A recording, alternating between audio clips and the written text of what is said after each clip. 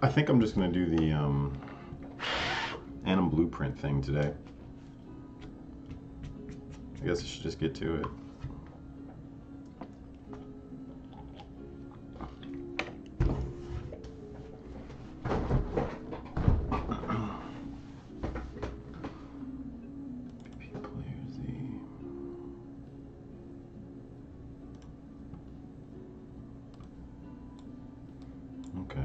So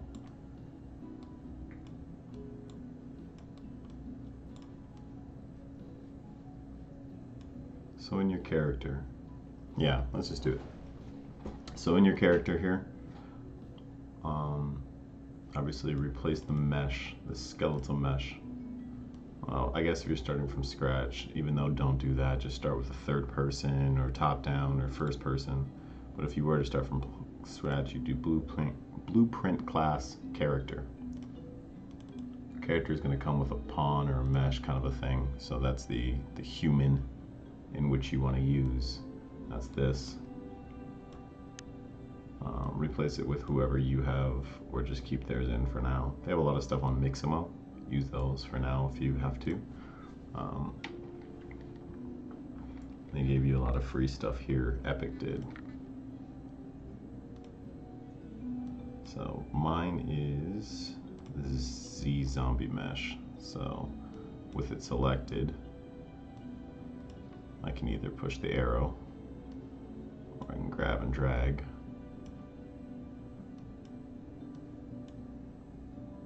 I can click that and just find it. Either way, any of them work. If you don't have any meshes,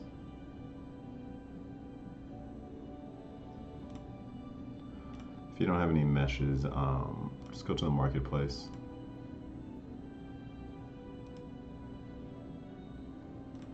Put in Mixamo. And right here, take the animation pack. And you will have a bunch of meshes with animations. So you can follow along with this on a walking animation or a running animation, which is basically what we're gonna do just to set up a, so you just click this free button and then you'll add it to your, your project. Um, but yeah, so put in that and then right here, use animation blueprint. And right now we have none. C player. Oh, maybe we do. But we'll create one.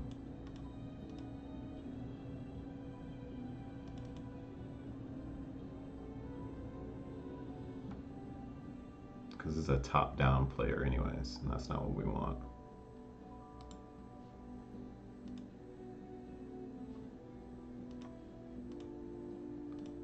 So off of the Z skeletal mesh, create animation blueprint.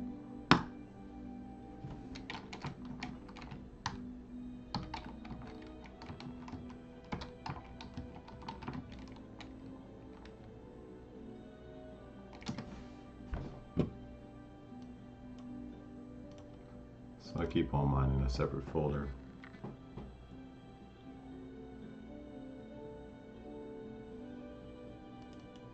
Just the curiosity what this is. Yeah, okay, so this is for that skeleton.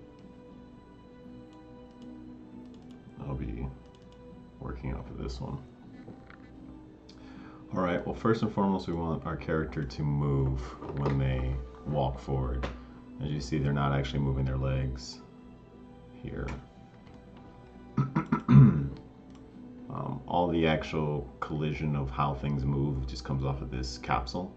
This is your main component in here and everything else is attached to it.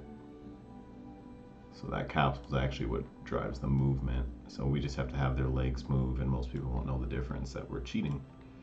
So I already just pulled in my idle animation. Oh, Dave, the modeler, he did these animations. He did the uh, models on this. I'm just setting up an animation blueprint for the stream here and also so I have a working version here.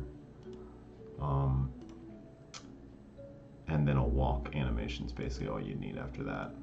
An idle and a walk. we happen to have a run, so we will set that up as well. So in here, animation, blend space.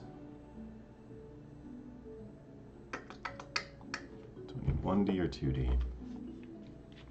I think we're only need 1D for this game. I don't see them doing anything else other than going forward and backwards. I don't see any strafing or anything like that. There's probably not any lock-ons. So we're just going to do 1D for now. We can always change it later. To be in the Z skeleton.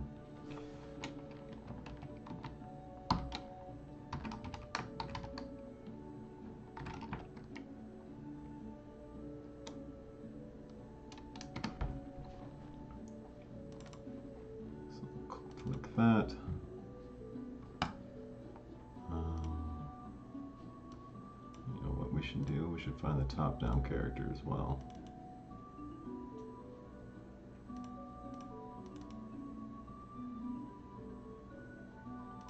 If he exists anymore.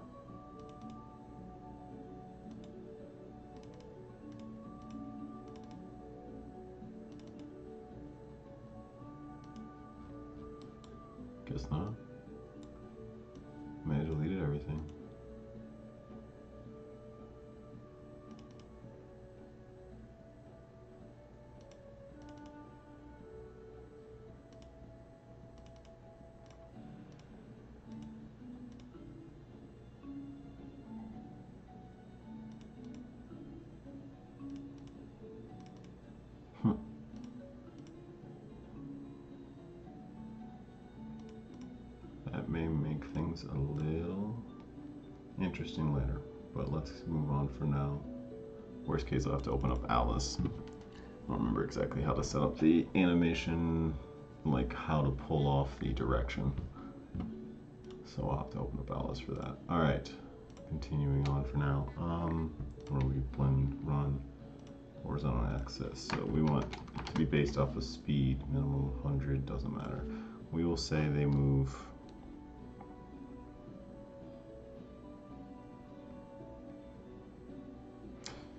finger painting. I don't know much about it.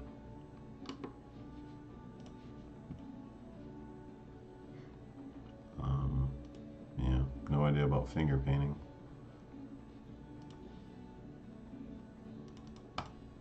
Maximum axis. We're gonna move maximum, we'll say 600. It's up to you on how fast you want your characters to move. How many grid separations do we need?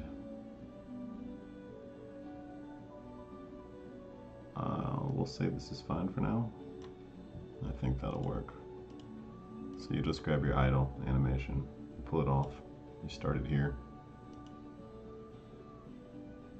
And then you just want the next one, a walk animation, I'm gonna set it here. And as you see, based off the speed, 0 through 600. As you see, this side 0, this side 600.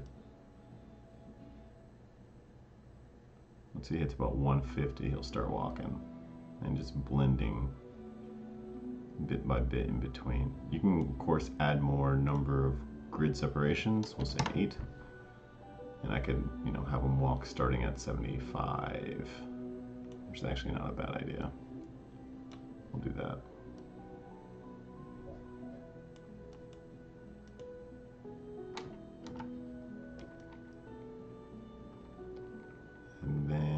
Them to start running, we'll say at 375. So I have a run, you may not have that, you may not need that. That's what I have, so.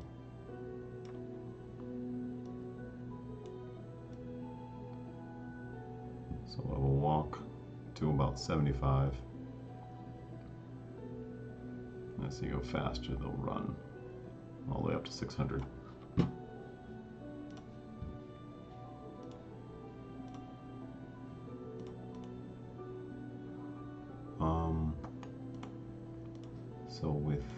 is selected, you can hit that button to find it. In our animation blueprint, we're going to need different states. New state machine.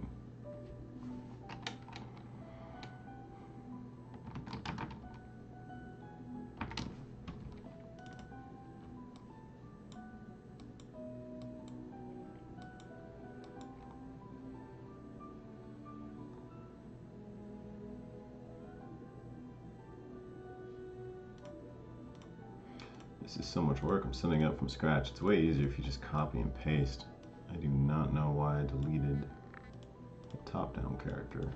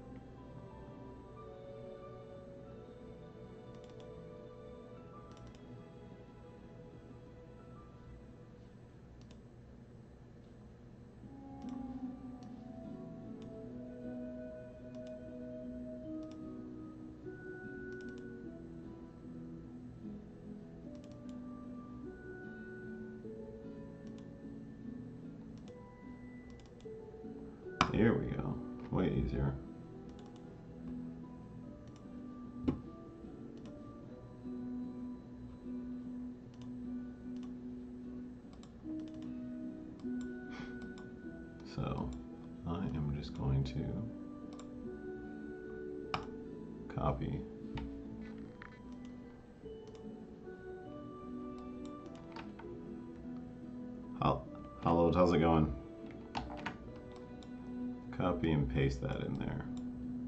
It's way faster.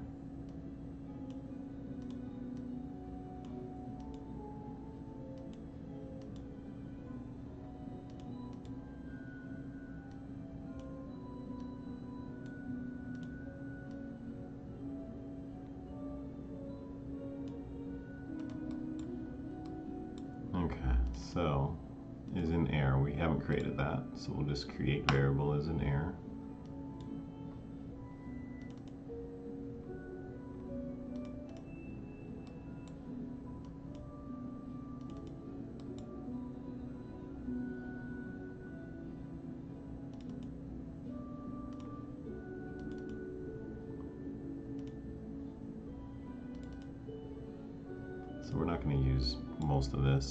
I'm doing an animation blueprint, technically from, I'm copying the third one because you, you can use most of what they set up, it's just a little bit faster.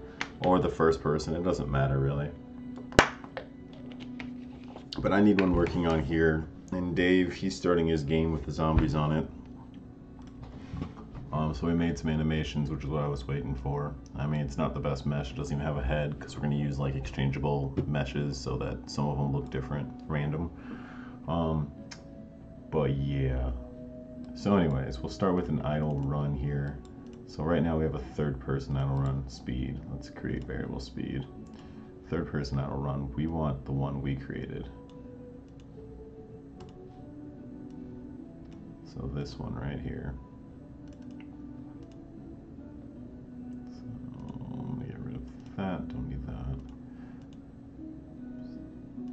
Skeleton, we need this. This is exactly what we're looking for. So I can push that and I'll replace it. Or you just drag it in. Either way, doesn't matter. I'll hit compile for now and we'll see how much it's angry at us. That's not too angry, that's good. So right now, we got nothing, but that's fine, I know why. Um, we'll continue for now. So jump start. So this is to play an animation. It's going to play this third party jump start whenever the character, whenever this turns to is true. It's going to play once. I find that to be really silly. And then when this is toward the end of the animation, it'll automatically move to jump loop. So I find this to be silly because like you're gonna play an animation. You're gonna have to have some code when you push A to jump. You might as well say play animation jump. And then at the end of that animation, you just gotta tell it to loop, which there's a lot of reasons why you could use something like that. Um, or you could just have, you know, or if you have a more controlled game like ours, they're never gonna be jumping for an indeterminate amount of time, so they're not gonna need a loop. I just make the animation three seconds long and just have them loop like this for three seconds. They'll never fall for any longer than that. Anyways, um, so I'm gonna get rid of this because I don't need a jump start. I will just play an animation. And I don't need a jump end. So this is just, yeah, I don't need a jump end. So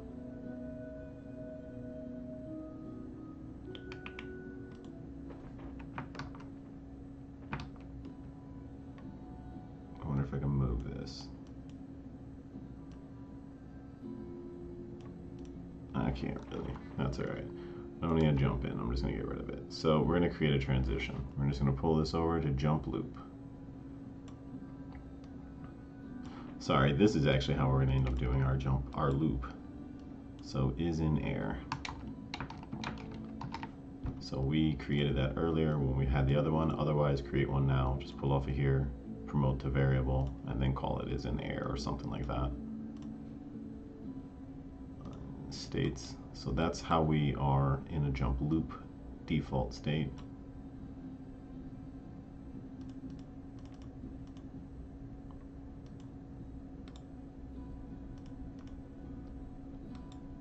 And here is, is in air again.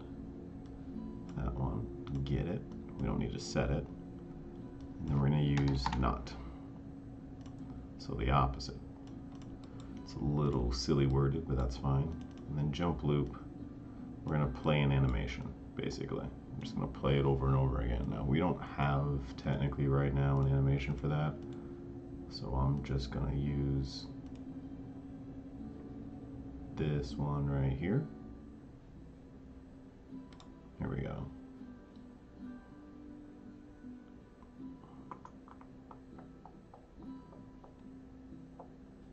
We'll duplicate it.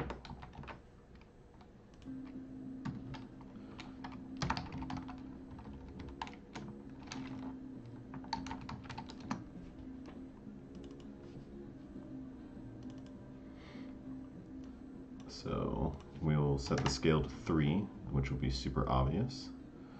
Also, so we can just see when they're jumping. And also, I can just change the animation in here as well. So we'll do that.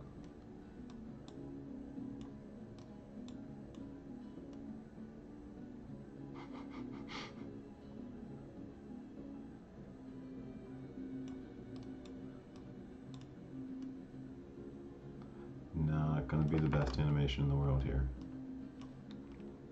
Here we go, upper arm. It's probably better. There we go. So we'll do that. We'll key. To about right here.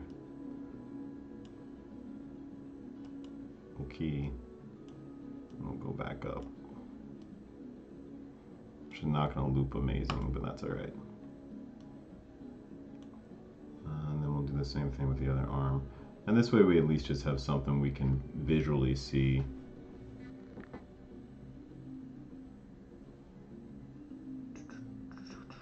visually see um, is a jump animation. Obviously, you just use the Mixamo ones if you don't have one, or quick make one if you're an animator. Make it way better than this. We'll hit apply, hit play, and that'll be our very silly in the air jumping animation. But at least we'll get to see it working. So we'll grab that. And rather than, so for me, normally I just push the button here and it replace it. Otherwise, you can just grab this animation, drop it in here. We'll just plug that in, get rid of the old. We'll compile.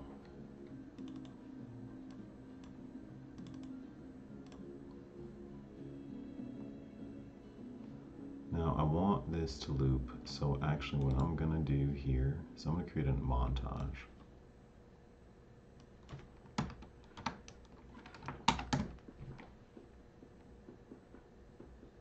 You're waiting for the stream today or or animation blueprint one?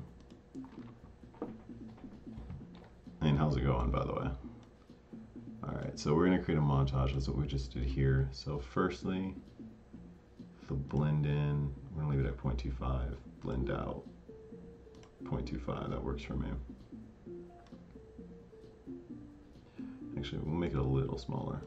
This is how it blends in and out of whatever the base animation is. And then to make this loop, I'm just gonna double click right here. We click off of it, it'll be blue. And that means this will just be on a loop. It'll just keep going until we tell it to stop. Basically, till we play a different animation here. So in this case, it's an, it'll keep looping until we get out of this uh, this state. So I'm gonna grab this and pull that in here, which it's not liking because it's a montage.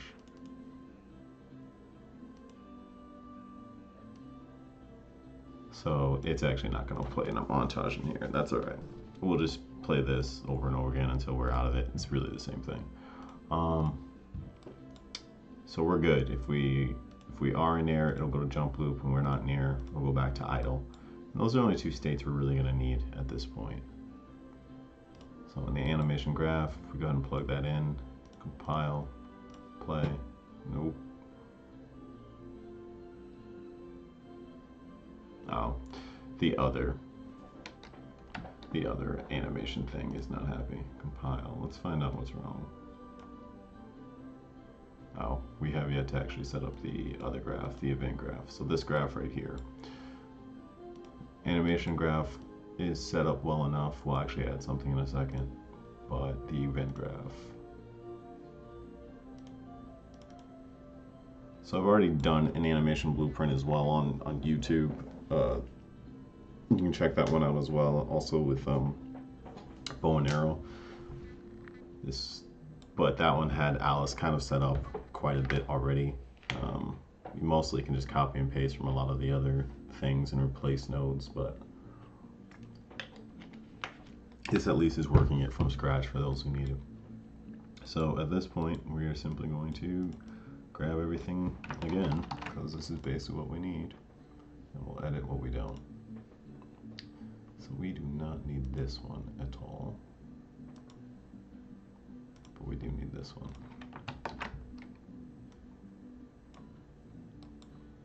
So we'll pull off of there. That'll make this one real. Pinocchio, will make it a real boy. Try to get pawn owner. This is basically always going to check for whoever, whatever pawn we have going, whatever character is is happening. And as long as it's valid, it'll continue on. It'll get its movement component, and it'll see is it falling. If it's falling, it'll set that variable we had earlier is in air. So the second it starts falling off of a cliff or anything like that, second there's nothing underneath that that capsule component. Um, it'll set it to is in air and we'll go into that idle animation. And then also it's checking its velocity, its speed. It's getting its vector length and it's adding its speed constantly to it and setting that's how fast we're moving using a 1D blend space, which is exactly what we had. Now, if you did a 2D, you also need to get a vector to do like the direction in which they're moving. Are they moving right, left, forward, up? And then of course, it's dependent on the camera too. Um, but anyways, we will do that for now. So it's angry because we created it earlier. So I'll hit compile again. It's not going to do it. So we're just going to delete, grab this speed, plug it back in there. This time it's happy. It's just one of those silly things because we all know that was fine.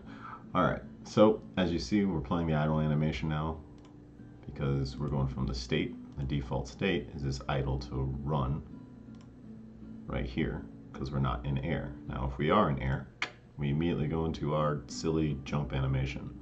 That looks ridiculous, but nonetheless, that's our that's our idle loop animation. So if they were falling, that's what they would look like. And if we're on the ground, we come back. Simple as that. Blending in, blending out, blending in, blending out. Um, and then the speed, the more this goes up, the more the legs start to move until they're running. And of course, we can just do that actually in game, or we should be able to, except for, once again, why we started all this, it's because we had no animation blueprint class.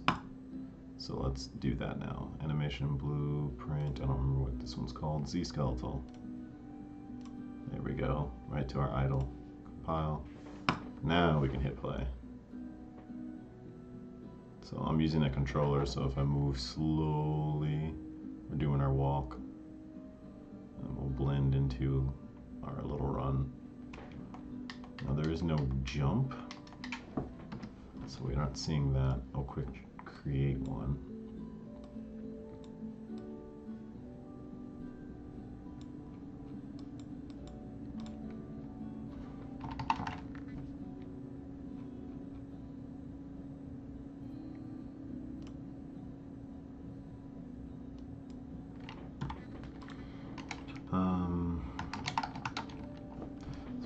Launch a character just to create a jump. We'll overwrite all the other velocities so it's not multiplying any extra velocity. It'll always be predictable. And we'll just say 250, a quick little puff of a jump. I'll just put the space bar and the bottom face button into there. Hit compile. And there's our jump. And I can do it over and over again. So this guy has, this person has forever jumps. Running, jump.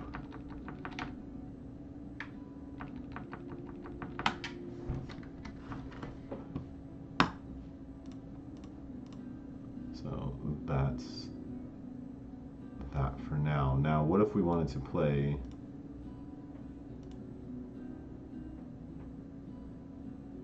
an attack? Let's say an attack. Firstly, let's create an attack.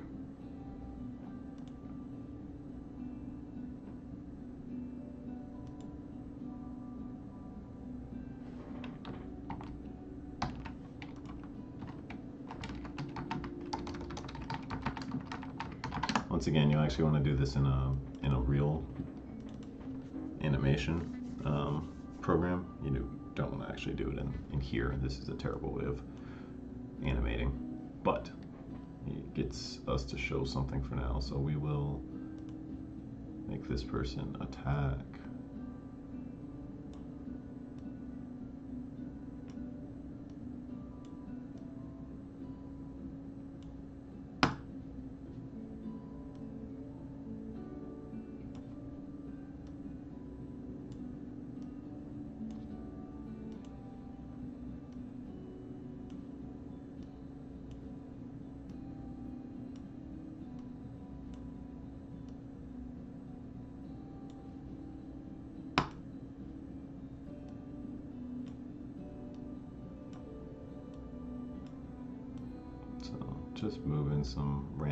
This is very useful if you need to do an edit in an animation. Um, you can just very easily get your animations edited in Engine.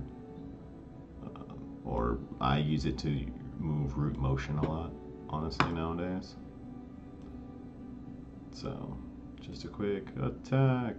The arms just flipping around because, once again, not the not the easiest to use, not the best to use, but whatever. That'll be our, our very silly attack. Um, so we want to call that with an animation montage.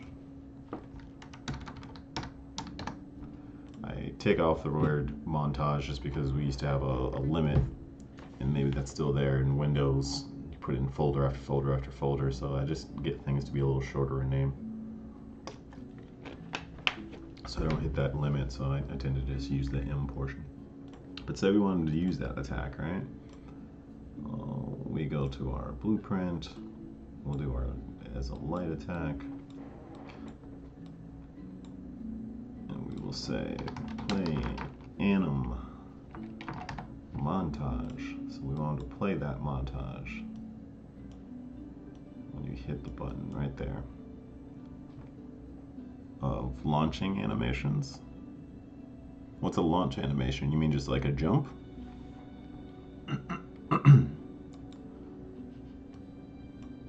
so we're gonna do the test attack. That's the one, so I'll push this arrow here, or I could type in test attack, even though we're looking right at it because there's like no montages in this in this this game yet. We'll hit compile, we'll hit play, and I'm hitting X and nothing's happening exactly as I expected. And that's because we haven't told the animation blueprint where to play montages yet. So we'll do that here. Slot. We need to create a montage slot. Plug that right into here. to there. Leave it as default. Yeah, I'm just just doing a, uh, a quick example on how to implement some animations. Some people are asking about how to do an animation blueprint. Um, I did an example already on YouTube, but I guess maybe it was a little difficult to follow or something. If you know, some of the stuff I have is a little more medium, like if you've been using the engine for a little while. Um, so making it kind of a little bit more beginner friendly. Um, and this project's in the beginning stage. It's my uh, co-developer. He's basically done with most of the modeling, which is what he did on Alice. He does all the modeling. He's done so much at this point that there's very little left to do. So he um, he's making his own game here. It's like old people versus zombies. So I'm setting up like how I'm gonna set up the animation blueprint when I set one up for real. This isn't gonna be it. I probably won't even save anything I'm doing here tonight. Just do it all over again. Um, so yeah, it's just uh, default slots and whatnot. And then I, then at least people can rewatch this on YouTube or whatever. I can point them to this and just say, here's here's how to do an animation blueprint rather than trying to answer it on stream all the time. Um, so you set up a default slot, and if you look right here in our animation blueprint, once I find it, test attack, here we go. Test attack you'll see default group, default slot. Now you could create multiple slots. Sometimes you want an animation just to affect a face or just maybe one arm or just some legs or you know maybe different slot. You can set up different slots for this to, to work. Um, but this this particular slot, we, we really only need one, um, at least for now, depending on the game. Some can use multiple. Alice uses more than one, but she has a face slot and a body slot, and this is just so I could play different face animations dependent on that number one spot. Kindred, how's it going, man? Uh, yeah, appreciate it. And yeah, that'll get you in that number one spot real quick. Um, yeah, I'm gonna be streaming just for a little bit, and then like whoever I got, we'll just probably be going over to your stream if you're gonna be on here later on tonight. just going through that uh, animation blueprint thing that I said I was to do a little bit ago. Um, so that's what, what I'm currently doing, just to make it a little bit more beginner friendly. I already did one on YouTube, but some people couldn't follow it, or at least one person couldn't follow it. You're off tonight? Okay, so you're just to be stalking around randomly through through things. That'll work. I'm hoping a hippo wombat comes on so I can uh, maybe send him some some love. He's got a really cool game in fact, to show him some love now, I'll go ahead and put a link to his his thing. Here we go. To his channel right here. Trailer. That'll be fun. That'll get a lot of people excited about the game too, which is nice. Yeah, um, I'll make sure to put it up on my pathetic social media following, but any any way I can help, I'd love to. So I think we'll be going over to Hippo when this when I'm done streaming then, if he as long as he streams at some point tonight. Um, but yeah, with the default slot put there now, now we can actually play animations. It says the default slot, so when we push that button, we'll get an actual result this time. And there's our terrible attack animation, just to, to, to prove, hey look, it does technically work. And there's our terrible jump. We can hit attack animation, jump. You get the point. So that's that's basically all it needs to do. So all that's happening, and the only reason that you, all you need is an idle and a jump. The only reason you'll need to create a new state is a new default idle, basically, that you want them to be in. I don't I don't know. I, honestly, I, I think I'll be on. I'll I'll be done with this in probably five ten minutes. Like animation blueprints aren't that difficult, and then um, I'll screw around on Alice for a little bit. I'm kind of tired. I can already feel like just just here to, to goof around a little bit, just because I said I was going to do this, just to get it over with. But um, if I don't see you, it was great seeing you. Thanks so much for the for the cheer. Um, but if not, I'll, I'll catch you stalking around. But the only reason you guys will need to create a new state, um, yeah, that's that's Kindred Dev. Um, everybody click on his name and check out his game for sure. He's making an awesome game. Uh, he streams a lot of nights off tonight, but you'll see him on tomorrow or the next night or the next night. Definitely check him out.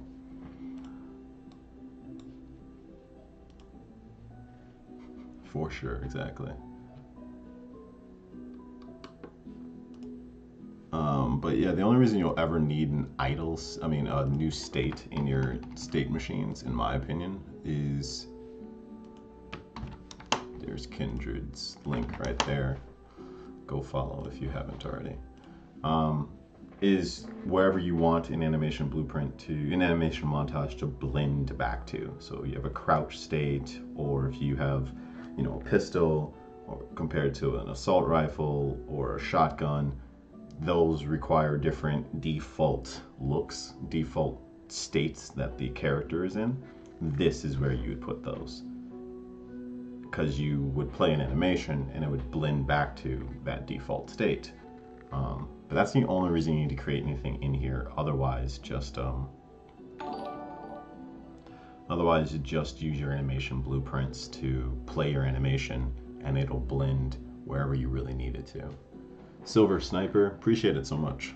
Um, yeah, I'm, I'm, on here quite a bit, and thank you so much for following uh, Kindred Dev as well. It's absolutely, uh, absolutely awesome. And I like the OBS scared the hell out of you. That's a little funny. Dark Boy, how's it going on uh, on YouTube? Perfect, perfect. Yeah, we're on quite a bit, so you'll see us.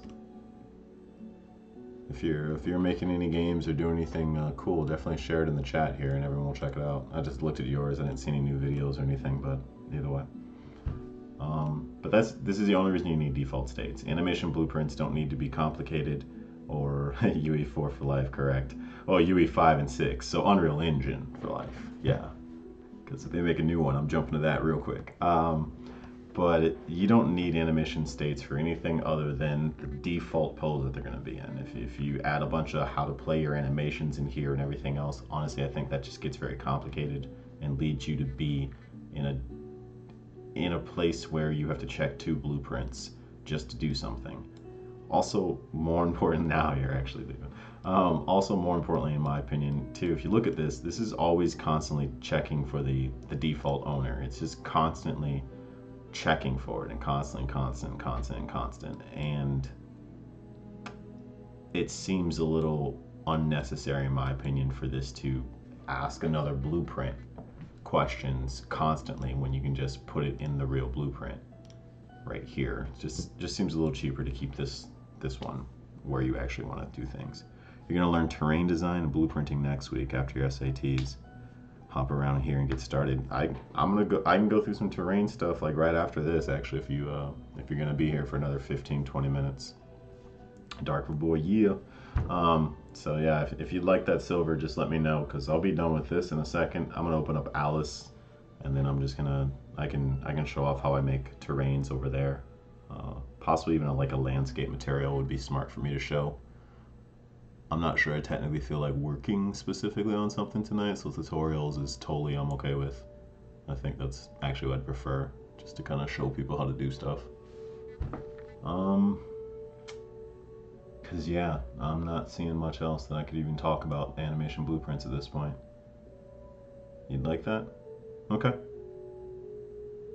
It'd be cool to see your game first. Yeah, see this one's in a default state basically. That's why I'm doing an animation blueprint because this one technically didn't even have one. Um, it's a new game my co-developer is making. Uh, zombies, old people versus zombies, kind of a, a theme. I can show off what we have. It's not very much at this point, but Anyway, so that's probably Animation Blueprint. Honestly, for anyone who's just coming here for the Animation Blueprint, basically if you were on my stream and you asked me how to do an Animation Blueprint and I sent you to this video, I'm probably, this is probably the end of the video. I'm, I'm gonna goof around here for the rest of it. Um, but now I will show actually what this, this game has in it, which is not much. We'll go to the map. I'm not gonna save anything because I don't know what I did there and if I wanna change it.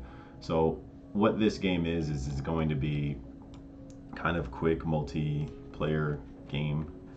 Of course, we get the dark level first. It's all random. It's just going to be so so roguelike random things. So this is where the zombies will come in, and then when you're done with all of them on the map, it's where they'll leave. It's where you'll leave. Um, we have one room here, and there'll be a bunch of stuff in here. And it looks like this is going to be a one room version. Yep, that's it and then you hit play again, and boom, you get a different scenario. And everything will be random. We'll get different zombies in every time. We'll get different characters and different different stats that they all have. Um, you find different loot.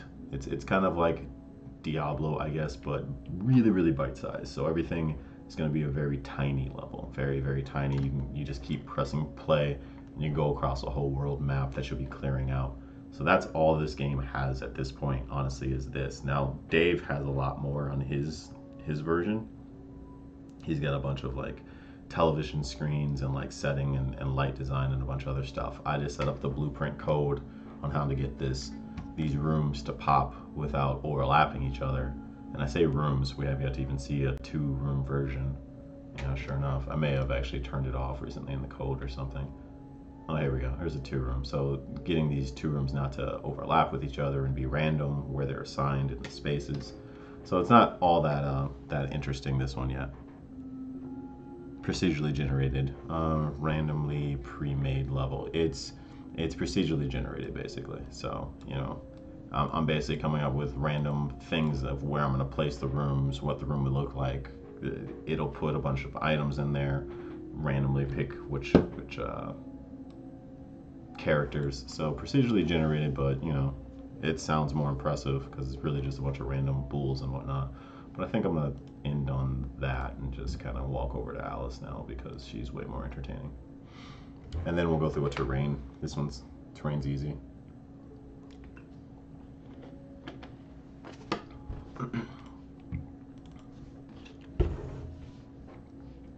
This takes a lot longer to load than that zombies one, as this zombies one's probably one gig, and the uh, Alice is over 25 gigabytes. Now, when I package the game, it'll be down to three gigs probably, but I just have migrated so much stuff from the marketplace. Basically, nearly all this stuff is shoved into Alice's game because I want to make sure that I have water planes and these sound effects that I bought. Um, there's a cool material or two in the soul stuff, and all this is free from Epic, so it's kind of nice. You can just add to project and you can put it into your game. The open world demo. This one's really awesome. Uh, all the mountains, all this stuff. I just threw it into Alice, but it kind of bloated how large this project is now. Are you using state machine for the character? Ignore that. Yes, I am using state machine for the character. Even though you said to ignore it, I'm going to answer it anyways. Oh, you can't stop me. So when you package, unused assets aren't packaged. Correct. Unused assets, unused variables. It does a brilliant job of just, I, I, I, I guess I shouldn't promise unused variables, but I don't believe. Um, uh, but yeah, it basically does a brilliant job of saying, I'm not finding anywhere in the code where we're using this, and then it gets rid of it. So yeah, you're, you're fine to just put too much into the engine to start with and then just don't use it. My only problem is sometimes I would put two things from two different projects and I'd end up with two versions of the exact same tree and then maybe I'd use one here and another one here and then I gotta just remember to make this one the first version so I don't end up with two in my game when I can just use one. That's all I. I kind of go through some dumb stuff, but that's not too big of a deal. Let's do a terrain, shall we?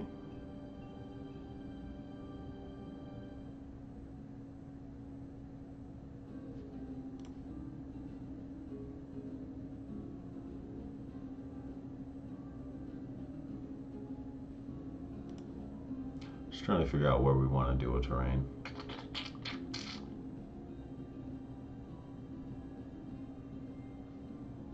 We'll do the advanced lighting map. It looks good in here.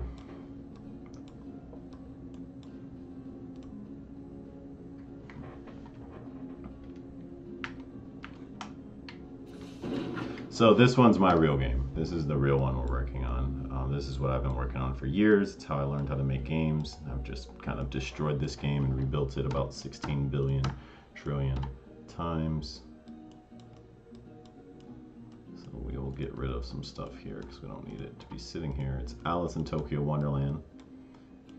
It's Alice versus with an Edo period Japan style kind of a thing. So Samurai Mad Hatter, Sumo Wrestler Tweedledee Tweedledum, Geisha Queen of Hearts, all with versus a Japanese style Alice. So we'll start with a terrain. So right in here in modes. Um, your modes may not be here, but you just got to find it. Otherwise, just hit window, find your modes. We'll do this landscape right here.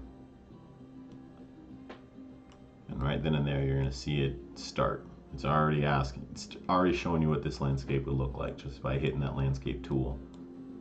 Um, these squares are basically, you know, um, how tight the squares are is, is how smooth you can kind of get a really rounded edge. The more squares, the, the more, you know, you can get really, really smooth corners and whatnot. And that's going to be your, your quads and your uh, overall resolution, total components, um, how many it's broken up into. So, you know, you can, you can boost this up, but what for? Like this, this looks just fine. Um, maybe I guess if you had a game where you, maybe you shrink almost like Alice does, and you could get really close into the details you would want to, then maybe make sure that those details get really, really, really tiny and small. But otherwise, you're you're pretty much good here. Um, so I'm actually just gonna probably say create. Now I can do fill world that'll just go on basically forever, but uh, I'm just gonna hit create.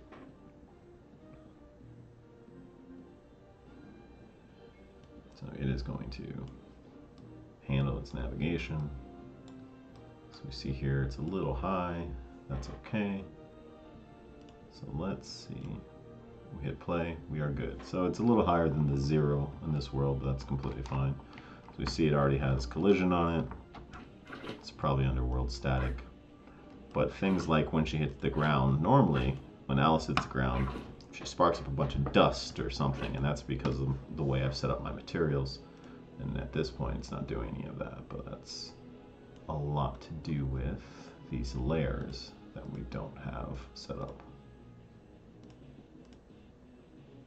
So firstly, let's give it a material.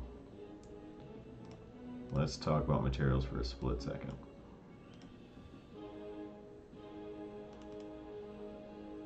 Landscape material. So I'm going to show off my master material and my landscape.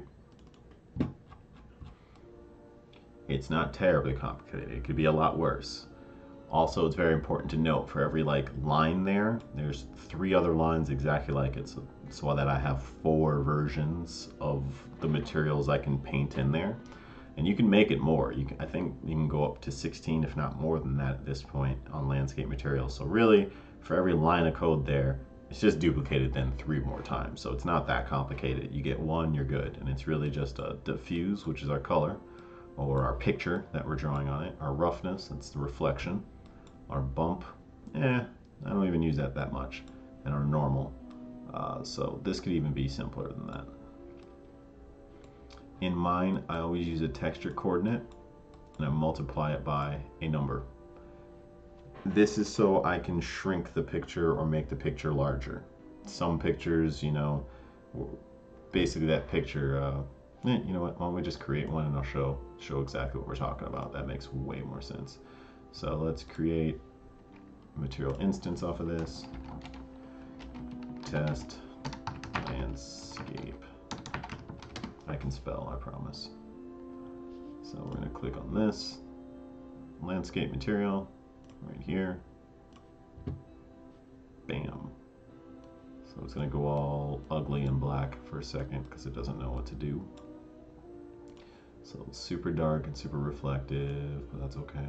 Go back to our landscape material. Hit our paint. And now we have four different layers because I got four in mine. If you created more, then it would have more.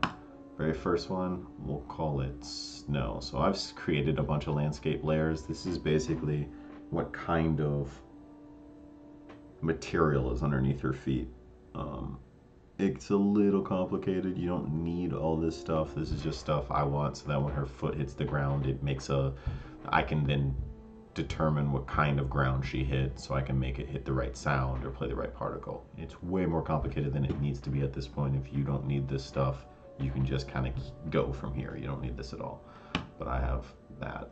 So I'm going to call that snow. We'll call that brown dirt. Call that grass. We'll say this one is water. Boom, right? So as we see, we have a default picture being drawn on the floor here.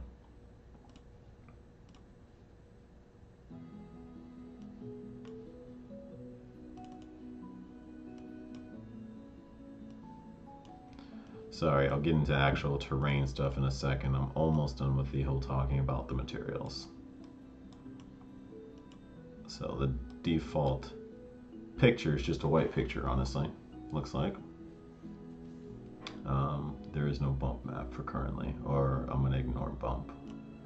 Uh, the normal map, that's this sand texture apparently. However, as we see, it's a little big if it's gonna be a sand texture, and that's what I'm talking about. Um, the texture coordinate being multiplied here. We can shrink that by saying two, three, four, five, and now it's looking like sand, right? Now that actually looks like sand. We can see the tiling on that though. It's a little, it's a little much, but nonetheless, it, it looks a little bit more like sand the smaller it is, but either way. So in that picture, it's just being set up by a picture multiplied by color. This way I can always change the color of it. I want brown sand. I can just multiply the picture, which is just a white picture. Every pixel in there is white, so um, the white pixels are one. So one multiplied by whatever color I choose is always going to be whatever color I choose because one doesn't multiply any differently. So boom, we have brown sand up in here. And then normal intensity, that's just normal. So once again, it's this picture multiplied by color, and that's just getting set into our layer one. And then we're just gonna go in layer two, landscape layers. So we're just setting it up layer three, four, and I just do four. I can keep going from there, and each one has its own picture and its own color so that we can keep changing it. Each has its own roughness value, because I can change that. We'll skip bump as tessellation, and it's unnecessary. and then each has their own normal, and they all need to be multiplied by these and added back together to, to multiply. You can't just multiply it by a straight number, it won't look right. And that multiplication basically will just intensify the normal map here. So you do zero and it's all gone, which is really what's giving us our only shape at this point. So I'll put that back to one. And then our roughness, once again, that's uh, that's how shiny things are. Right now it's one, we do zero, it gets really shiny really, really, really, really reflective. And back to sand, which is not all that shiny. It's actually quite rough. Um, so that's our roughness. Anyways, we called this one snow though, so I'm actually going to take the color off of here. And I'm going to find a snow material because I have a bunch of pictures from all that free stuff they gave us all over the place. Textures, soft snow. There we go. So this is our snow material and this ground material works just fine. What else did we do here? And then we'll paint some of this in. Number two is going to be brown dirt.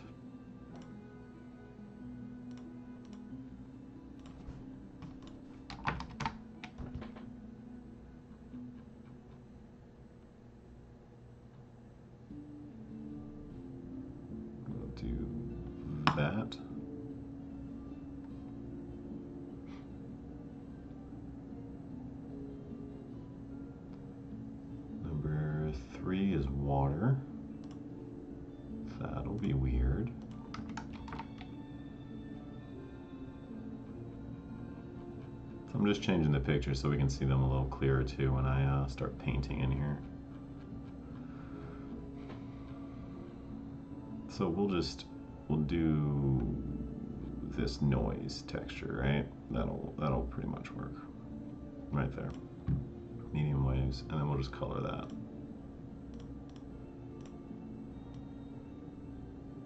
Blue.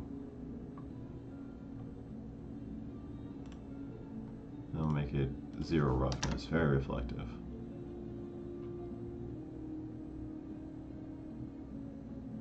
And number four is our grass.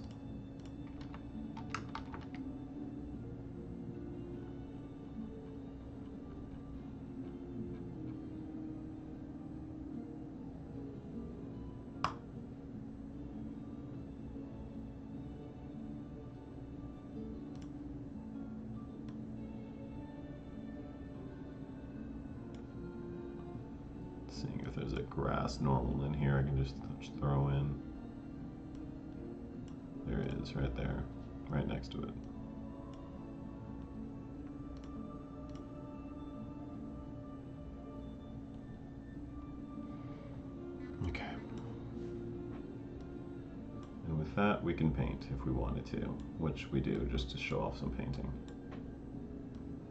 So tool strength, we'll turn to 1. Actually, we'll turn it to 0.5. Brush size is way too big. Brush fall off, off how much it falls off from the center circle.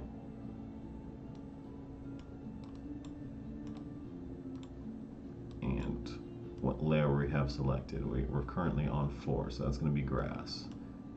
Paint. You'll need to build here for a second.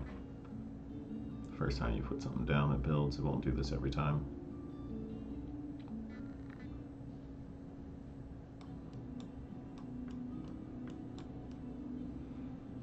And just like that, where we're pushing down with our left click, pretty simple, we're, uh, we're getting grass. Now, in that blend, as we see right outside that circle to the outer circle, it's blending in between those snow texture and the grass one. And we can make that softer if we wanted to with more fall off. So smaller center circle, much smaller as you see and a lot more of a blend. Also, you know, you could always affect how, how strong the tool is, and you could really blend it even less and more, whatever you want to do. So there's our there's our grass, our brown dirt. We will have now surround that. Once again, first time we're using it, so it takes a second. Here actually we're not going to have it be so far. We're going to pull that back down. Brown dirt. Lots of really strong brown dirt.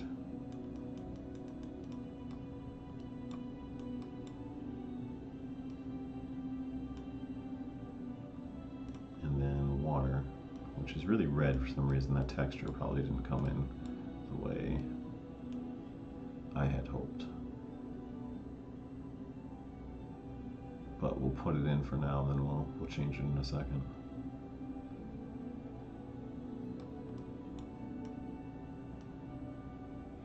Here's our water. As we see, it's really reflective.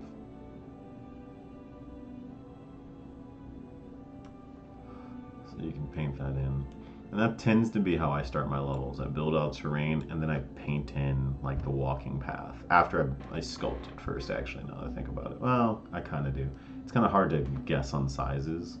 So sometimes I will paint it in because I can make the tool about the size I want the player to walk on and then I can paint in a path. And then I can sculpt around that. All right, well let's um change our water material because that's probably what's giving us a very ugly red right now.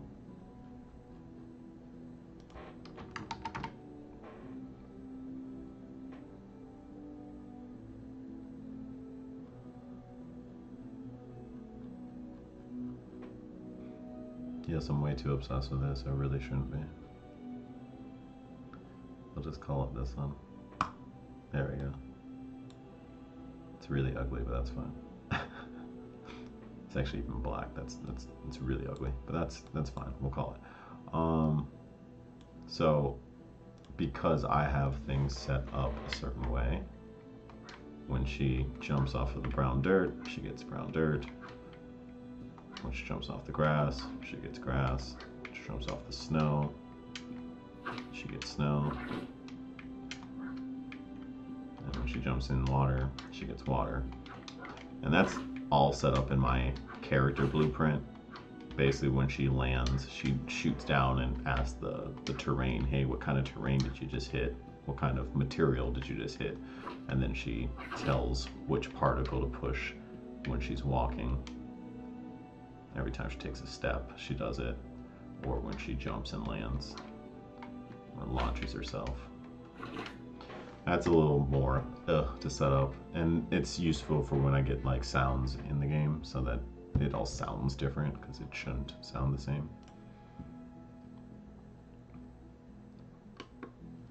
Um, but yeah, we'll, we'll worry about that in a little bit. All right, now onto the actual terrain movement, like like editing the heck out of the terrain.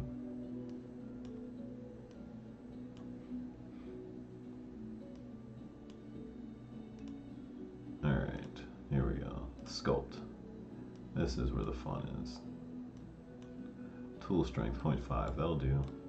Actually builds real quick. So, I mean, that's basically a mountain compared to Alice already. Brush fall off, leave it about 0.5 and our brush size to 77. So, sculpt tool, that's the one you use the most. Push just let, left click and it starts building.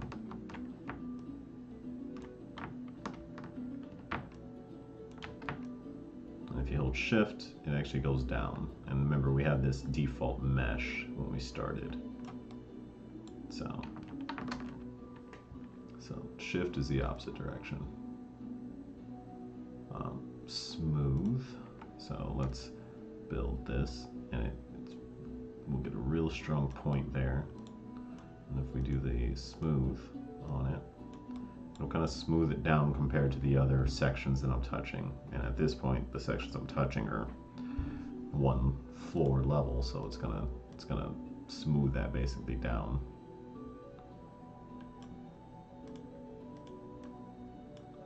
Which another way of doing flatten, which here you pick a point and then you pull it across and you're gonna get the exact same size every time. So it's making a floor basically. And I'm using it with um, some, not only with 0.5 tool strength, so you know, at the edges we're getting curves, but otherwise it could just be a, a complete square. And this has something to do with that resolution we were talking about earlier. Those triangles that we're creating if we'd made the resolution stronger, we'd have much smaller triangles and it'd be a lot smoother. Ramp. Click one point. Click another. Do that, raise that up. Add ramp. Just like that and you can affect the size of your ramps and everything else like that. It's a really easy way to, you know, get something quickly. And then a bunch of erosions and ways to get things to kind of blend back down. I, I'm just gonna skip those and the noise. Um, because you're pretty, I pretty much can stick to mostly here. The erosion is very useful for, for mountains and sides, but it's a specific look, so a lot of people won't really need that. And then once again, because of the four different blendings, you can have four different kind of textures that are all going to blend into each other um, around these edges. And you could you could uh, paint just the sides of it brown and the top of it snow and everything in here. So the terrain tool's pretty pretty pimp, honestly. Um, I like it quite a bit. They did a good job with it, quite obviously. yes, it'll be recorded. Um, so it'll sit, anything sits, um, sorry, I didn't check the chat there for a little bit. I'm inside that ramp, so that didn't, it didn't like me for that because I'm trying to spawn inside that ramp. Um, so yeah, it will be be recorded. Everything sits in the videos and the Twitch for two weeks, and then otherwise everything else will be on YouTube, and then that'll just sit there basically forever. Like I'm I'm too lazy to ever delete videos from my YouTube, so that'll just be that. So I'm gonna flatten everything else back out. I'm just gonna grab one of the flat areas, do this. Now when I hit play, I won't be inside of a ramp. So we can look at the thing we created. And you're asking about aerial combat. Yeah, that's not a problem. We can talk about that.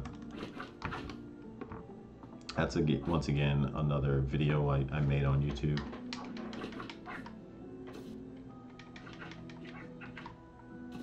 Can we get up there? Yeah, we win. So all the way up. And Unreal does a great job with, so anyone worried about performance, Unreal does a great job with the, the terrain and the distance has lower um, poly counts, lower triangles, lower squares in the distance than when it does up close to you. So if I walk away from this mountain, it'll still be there, but it's just gonna take up a whole lot less polys the further and further away I get so that it it isn't so expensive. And I got a pretty heavy depth of field on it, so we can't see if it kind of morphs a little bit as I get closer, but it is becoming more detailed as I get closer up to it. Um, so don't worry about the terrain tool. It, it, optimizes basically itself. Just, just make what you want to make to your heart's desire and it'll be completely fine. So yeah, not a problem, Silver. It's, it's going to be recorded for sure. Um, definitely check it out. And then that aerial combat, yeah, we'll talk about that for a second. Um, so with aerial combat, it's, you know, jump button and everything. Obviously that kind of stuff is going to be in your game or third person game easily. But um, what we're basically doing is just telling an enemy to launch itself. And Alice is telling herself to launch, either at the end of a combo or whatever. And then why she doesn't immediately fall every time I push a button is because I'm telling her to launch again every time I push an attack. Launch, launch, launch, launch. So that's that kind of small bounce she's doing. And I can show that off.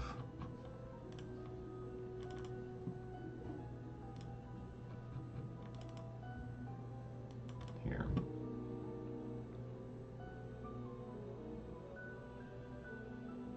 Sorry, spawned on the other screen. Don't know if I covered this. Can you cover mixing textures to paint the floor with realistic grass floor or something? Yeah, yeah, that, that's in there. It's actually like half of that was just me talking about the material setup on the um, the material setup on the uh, the landscape material. Um, so that's definitely in there in that last 10 minutes you missed. That, that's all covered. So that's what those ugly textures were on the floor is me just kind of proving how you can get them there really quickly and, and, how to set up a material shader. And I do also have a tutorial I did a week ago probably on how I set up my material shaders. It's really the same thing, just done in the landscape with a lot less nodes because you don't need as many nodes. And it's my it's how I set up my master material, honestly. So you basically can make the same master material I did, not like my game's that amazing looking, but it, will get you started, in my opinion. Like any game can start with that one, and at least you can move forward. Um, where are we at? Enemy launch cycle.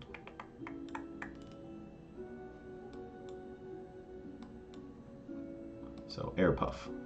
So every time she's in the air, she's going to launch character. Now overwrite your X and your Z. And the reason why is because you don't want you know, to be launching already and then you launch again and you go even further because the velocity multiplies or something, or for her to be falling and you launch, you know, she's falling 600 units per second and you launch 300, she's still going to be falling. She just keeps going. So if you overwrite, it basically says ignore and then do this number no matter what. So override it this way you're in control um, you know more more realistic physics based whatnot then don't override it but that gets very complicated. So I, I'd rather cheat any day. And I just wrote a function where I sent a number in. Uh, that number depends on which weapon she's using, how long it takes for the next swing to show up. So that's why it's a variable um, that I set up on that function. So air puff 700 in this case 400 in this case 600 in this case so mileage varies depending on the character and this only works in a pawn uh, character. You have to have a, a, a character to launch. Um, so it won't work in a static mesh. It won't work in like you know a default chess blueprint or something like that. If you set up a blueprint for a dresser or a chair it won't work unless it's a character. That's where you'll find your launch character.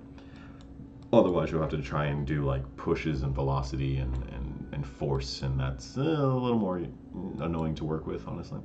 Um, but yeah, you're gonna do that. The the only other thing that's set up here is to guarantee why Alice can't float in the air forever.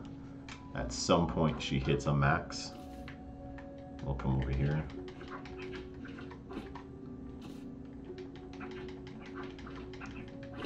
So she's starting to fall now. She won't, so there she didn't puff.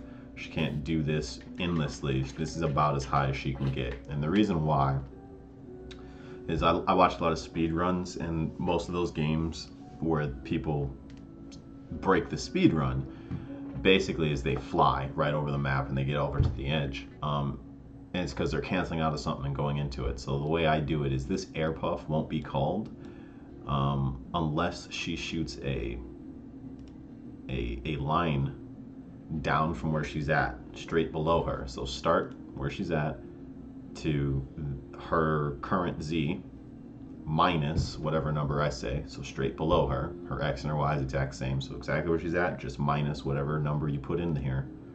And that's her end. And unless it hits something, so I pull off of here and say, did you hit something? And if the answer is false, she doesn't, she doesn't even puff. She doesn't continue on with any logic, just nothing happens. She keeps falling. But if she does hit something, then she'll she'll launch herself a little bit. Um, so it's all world static and world dynamic. That's the only thing she'll ever walk on. That's her only floors. If she hit a, a physics body or physics actor, that would be a um, an enemy in my game, or a pawn that'd be another Alice. I don't know why there's another Alice, but if she hit one of those, then I'm like, screw it. I don't care. Keep falling. Not until you hit the floor. Do I have to go through all tutorials available in part or just the four hour one for developing? Where do we get this character mesh? Uh, the character mesh we cre I created in this game. This is this is Alice. Um, you can get some character meshes to kind of get your game going. Um, for the question on here on YouTube, just go into your marketplace in Unreal Engine, Mixamo, And right here, all these are free. So you can use any of these characters. They'll have animations attached. You don't want to ship a game with these characters, but it'll get you going. Eventually, you're going to want to get a modeler if you don't model things yourself. And uh, you're going to want to get someone to create characters the way you want them to be. But this will get you going, and you can at least start getting a game, uh, build something fun, which will be easier to get a, a modeler to, to come in. So she can fly forever just at a limited height, correct. So she can puff at a limited height. So I can do this, well, I'll double jump. So I can do this pretty much forever. And it's a lot of fun, in fact. So she can Peter Pan it quite a bit. She can do this all day, but only if I push that button to make sure she doesn't fall. And I'm a human, so eventually I'm gonna hit the ground just because I'm gonna screw up the timing. But but yeah, so she can she she stays in there because it's fun. Um, I took that out for PAX just for fun. Um, I took it out. Otherwise, the defense had a, a, break in there where you couldn't mash the defense button over and over again. But I was scared people were going to get their butts kicked. But they had so much fun flying with Alice like that. I said, screw it. I'm leaving it in. People really enjoyed it. So it's one of those one of those things I got to find out how much pe- fun people were having. So that's that's that's what happened there. Um, but yeah, that that's pretty much air combat. And then I do the same thing when when she deals damage. I ask what kind of damage. How's it going, Asha? Um, good morning, right? Yeah, see, it's 11:30 uh, p.m. here, so it's nighttime for sure. Um, but I do the same thing um, hollowed with uh, hitting enemies. When I send damage to them, I tell them what kind of damage I'm sending to them, and in this case, I call it launch. I'm sending launch damage. and it just says, all right, now launch yourself. So it launches itself instead. So when she hits them, it, it just causes them to jump up in the air and play an animation. It looks like, you know, of course she caused it. But it's all cheating. Everything's a cheat. And that's that. It's just two things all at once. And that's just a negative number where where I knock them back down rather than launching up, you know, a number. I I put a negative number in and it shoots down instead. A big negative number, so it shoots down really really fast, just because it's kind of fun to do it that way. But yeah, I mean, it, it's it's really not that that difficult, honestly. A lot of a lot of small ideas, basically all strung together. It's it's pretty cool that you're you can kind of get away with it. You get some base knowledge, you can kind of do just about anything, honestly, in this game. Um, I'd say a huge reason why I was even streaming tonight um, is I definitely wanted everybody to see a very cool game. So I want to give some love to Hippo Wombat, and I'm gonna be up for quite a while. I'm just gonna do it in Hippo's stream. So everyone, come with me over there. Let's go check out this very cool game. If you like Breath of the Wild, it's, it's like that. So